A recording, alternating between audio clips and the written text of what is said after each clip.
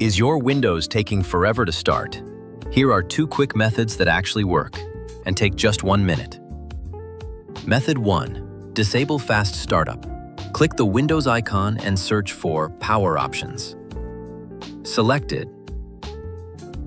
Now choose what the power buttons do. Then click Change settings that are currently unavailable. Uncheck the option called Turn on Fast Startup and hit Save. Method 2. Disable Startup Apps. Open Task Manager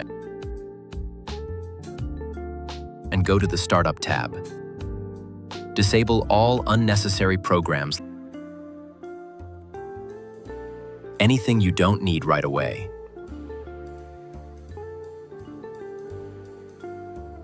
Now, restart your PC.